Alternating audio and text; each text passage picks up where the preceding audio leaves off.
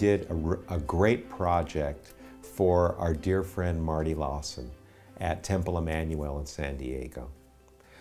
Marty, we had met at Camp Swig, and he worked with us in our workshop for 20 years there. Every summer we went to camp together, and every summer he spent working on our workshop, helping our students, working on his own projects, and helping us with all of our Judaica and liturgy and inspirational needs.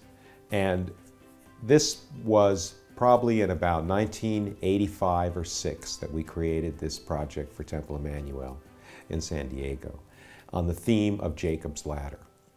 And what we've represented in this abstract composition is the wings of Shekhinah.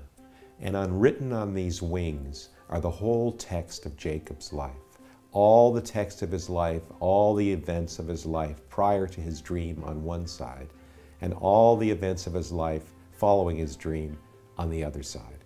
And it emphasizes what a seminal moment his dream was, how different his life became after he had his dream. At the center of this composition, there's a ladder, just like there's a ladder at the center of the story about Jacob's tree. The ladder is what connects the heavens and the earth.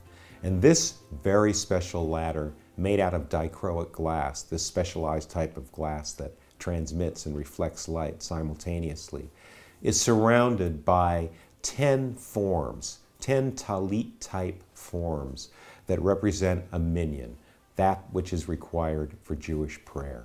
At the two sides of the composition, there are also a pair of ladders. They're represented as ladders of light, and their rungs also are made out of dichroic glass. And of course, there's exactly 10 rungs on each ladder. And on each ladder, there are 10 angels.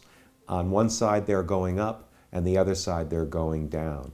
They may be angels, they may be birds. It's a matter of interpretation.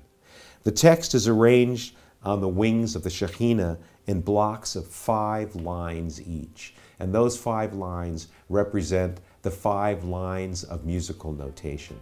Because in Marty's synagogue, music has been and always will be at the center of their worship and their spiritual life.